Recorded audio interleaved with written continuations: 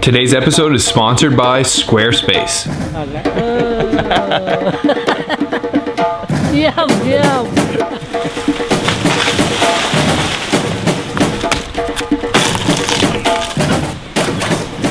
Welcome to Chopstick Travel. I'm Luke Martin, and today I'm in the jungles of northern Thailand. I'm about a two hour drive outside of Chiang Mai near to Chiang Dao, and I've come to this little village in the mountains. It's absolutely beautiful. I'm surrounded by the rainforest, and I just woke up at a homestay. And my plan today is to meet up with one of the locals who's gonna cook me some traditional northern Thai food, including the famous Sai Ua, the northern Thai sausage. It's beautiful. I'm just uh, having my morning cup of coffee. The village life here is just so cool. There's chickens all over the place. It's gonna be a great day, so make sure you stay tuned until the end. Let's go eat some northern Thai food.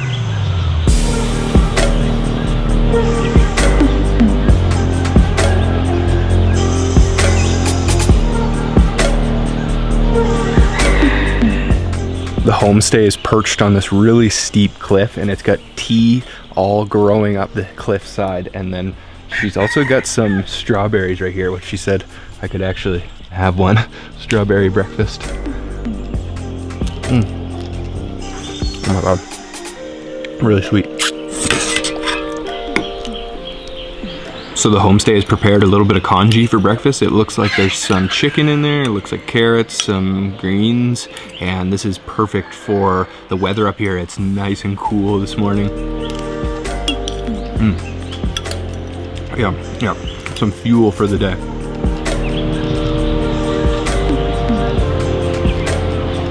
So it was 600 baht for the night here at this homestay and she gave me breakfast and dinner last night. And there was a big storm last night, thunderstorm, so everything's quite wet. And this is a really cool village, to be honest. I don't know the name of it though, but I'm just heading down the street to uh, meet with a man who's gonna be cooking me uh, a couple different dishes today.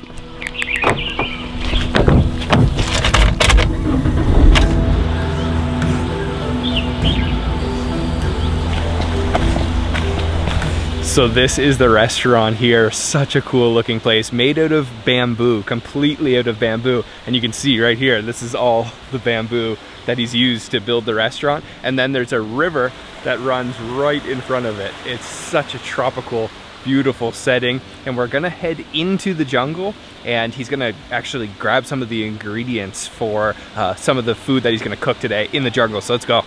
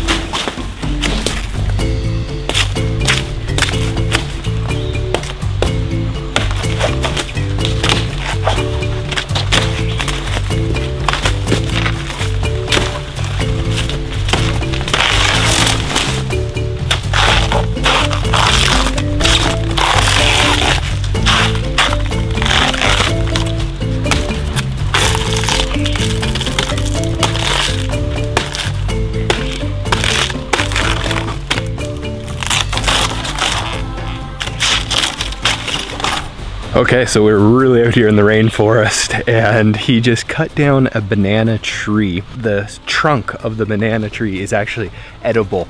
He peeled away layer by layer of the banana tree until it became this really rich white color and that's the part that's edible. And wow, that was pretty intense. He dropped the whole tree and then just chopped it up. It only took him a matter of seconds.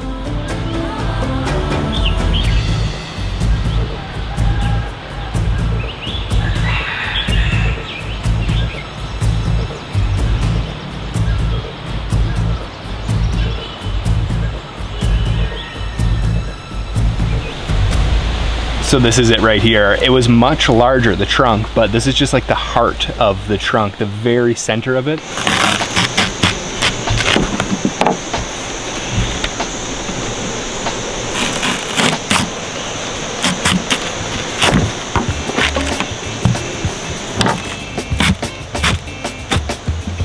Okay, look at that, and it's super juicy too. There we go. So you only eat the very center part, I guess? Like this much, or keep going? Okay. Okay, yeah. Mm-hmm. So just the center part. So that banana tree is going to be used in a soup, but first she's preparing sai ua, which is a northern Thailand sausage, very famous food here in northern Thailand. So she's grinding a bunch of different ingredients in a mortar and pestle. So she has uh, lemongrass, uh, kaffir lime leaves, chilies, shallots, garlic, turmeric, and that's all gonna be mixed in with pork and then stuffed inside of the intestine to make the sai ua sausage.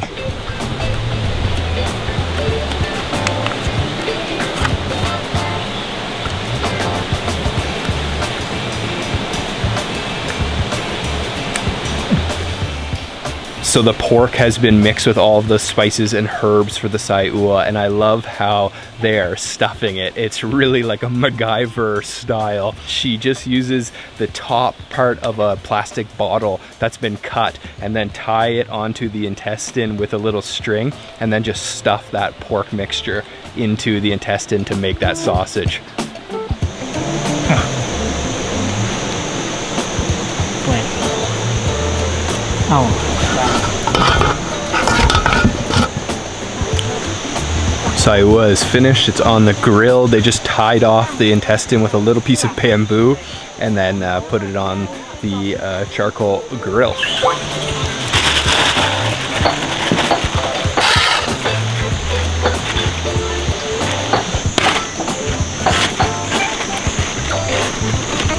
So we've got several dishes on the go at once. He's also got some catfish that he's gonna be preparing traditional Northern Thai style.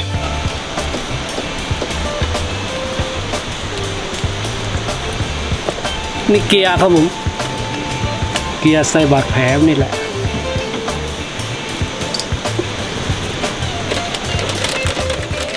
So he just gutted and cleaned the catfish and he scored them a couple times and then rubbed them with salt and now he just skewered them and he's gonna smoke them on this fire behind me here. Traditional style catfish, smoked catfish in the jungle.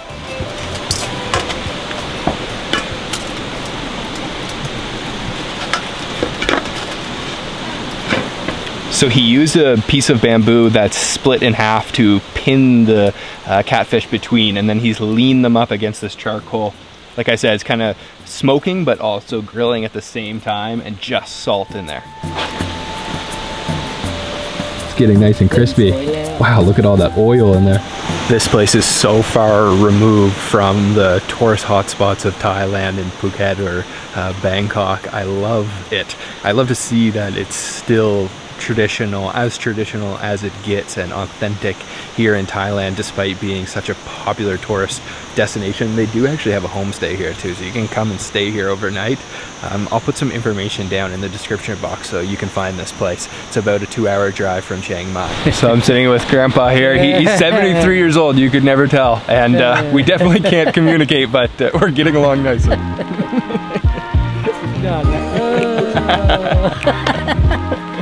Yum, yum. So the banana tree has been cut into very small pieces and she's using similar ingredients to the sai ua for this soup.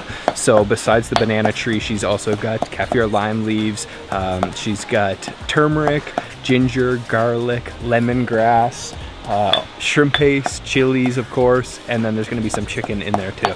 You can see the smoke from the sai ua. Everything's starting to smell really good here. She just finished pounding all of those ingredients in the mortar and pestle and then heated up a little bit of oil and then added that paste to the oil. And once it hits that hot oil, you can just smell the aroma is absolutely incredible. That Thai uh, spice and herbal smell is just to die for. And then she add a little bit of water and then she's gonna put the uh, banana tree in there and that's the soup.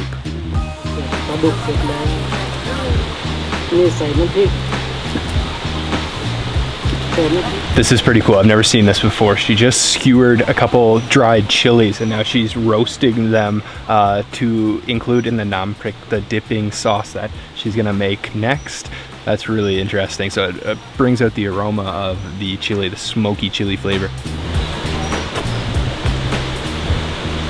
this just keeps getting better and better. He just brought out some wild mushrooms that he's steaming now on the charcoal, and that's gonna be what I dip in the nam prik. The nam prik is pretty simple. She put the roasted chilies, quite a bit of galangal, and then garlic, and then some salt. And it's just a raw uh, dipping sauce that you eat with uh, different vegetables. He's steaming the uh, wild mushrooms now, and I'm getting hungry. Everything's just about finished, I think.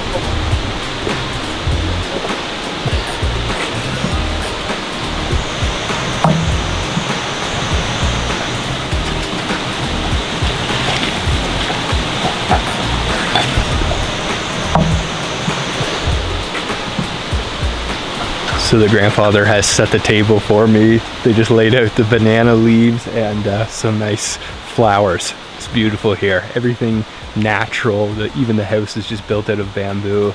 I love the atmosphere. The vibe here is just so peaceful.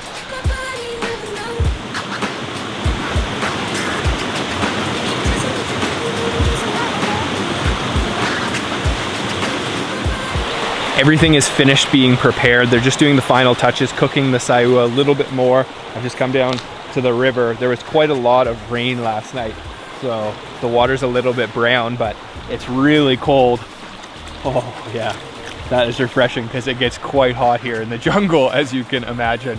And I just love the setting here. Uh, the grandfather was explaining um, that he's lived here his entire life. His ancestors have lived here. There used to be no road uh, just 60 years ago. So in his lifetime, there was no road. They were completely cut off from the outside world. And they retain the traditions of cooking northern Thai food out here while living a very simple, humble lifestyle. I love it. I love seeing this stuff.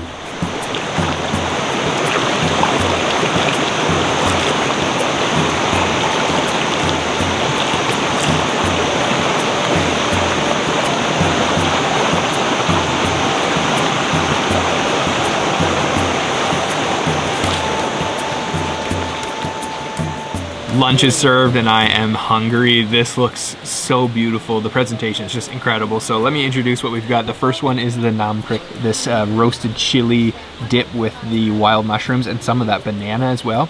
Back here I've got the smoked catfish still on the skewer and those look super juicy.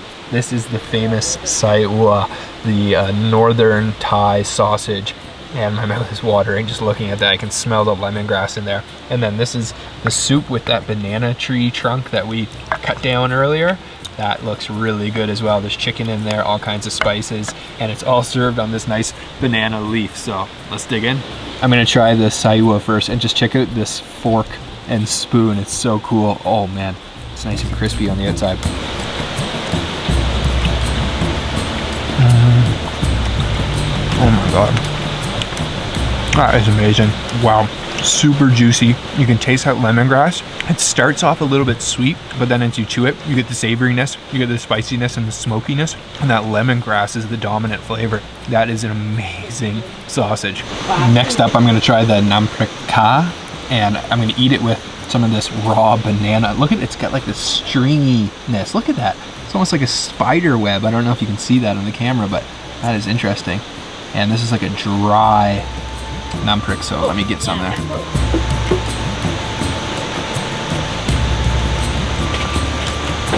Mm, oh wow, that is spicy. Those roasted chilies taste so good, but that is super spicy. The banana is really juicy. Just kind of popped in my mouth. I was surprised there by how much juice is in there. There's a lot of water in that trunk. It's got a really unique floral flavor from that galangal that's in there as well. Let's try one of the mushrooms. Steamed wild jungle mushroom.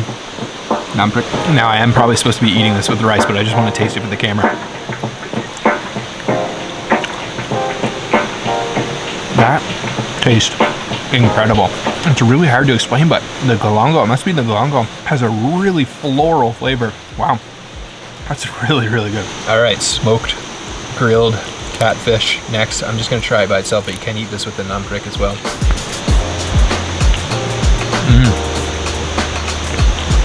Mm. Really tender meat, soft and smoky, and not a whole lot of flavor there, just that salt. I really think it's better to eat it with the naan. So I've got some rice here, and what I love is they use the banana tree for everything here. He even cut it into this perfect circle to uh, make it nice and fresh for my plate of rice. Some rice there, and then over here, I've got that banana trunk soup with some chicken. Put it on my rice like this. Get an extra bit of the soup there. Oh man, my mouth is watering. That looks really good. Let's try. Mmm. Mm-hmm. You can taste that kaffir lime leaf in there for sure, and it's quite spicy as well. And I love that banana tree. It's such a unique uh, ingredient, but it kind of just reminds me of like celery. Like it's really like soft once it's been cooked and almost like nothing. But uh, I like it better with the nam prik than in the soup. Okay, I want to try some more of this catfish, this time with the nam prik. So grab some of that meat. Oh, there we go. And a little bit of this nam prik, which is such a unique flavor. I've never tasted anything quite like this. I don't know if it's just the galangal or the smoky chilies, but it's just combined such a good flavor.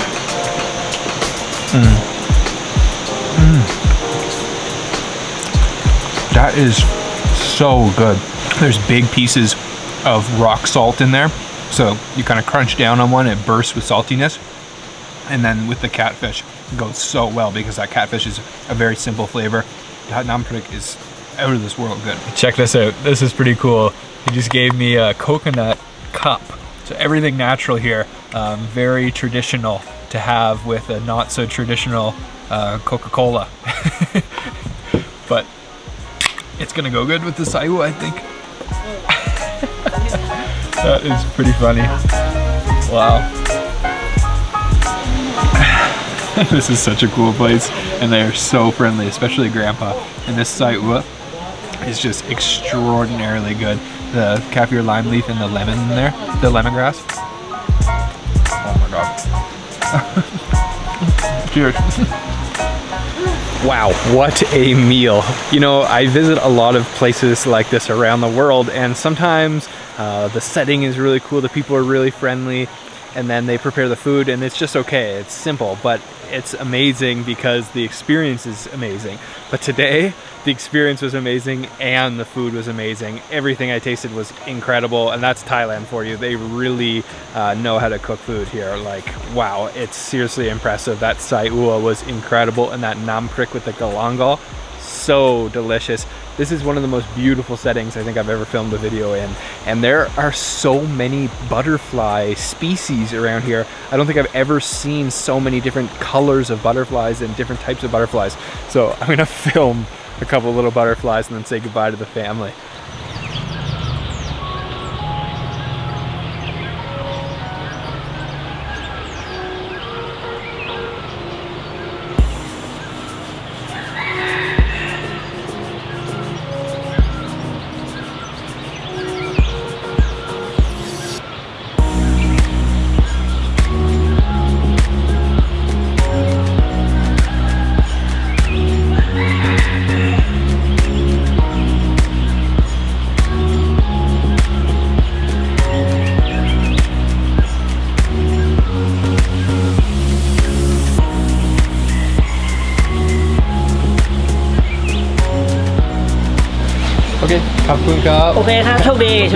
Bye bye thank you so much. Bye bye all right guys that's it for today's episode. What an incredible experience here in the jungles of northern thailand. If you haven't already make sure to subscribe hit the bell icon so you're notified and i'll see you guys on the next episode of chopstick travel. Bye. Squarespace is the ultimate online platform for creating your own website. It allows you to connect with your audience and generate revenue through a gated and members only content. You can manage your members and send them email communications, and you can also check your audience insights all in one easy to use online platform. Squarespace is a great place to create a community. It has a fully integrated commenting system with replies, likes, and shares, and you can categorize and schedule your posts too. So go to squarespace.com for your free trial, and when you're ready to launch the website, go to squarespace.com slash Luke Martin for 10% off your first website or domain.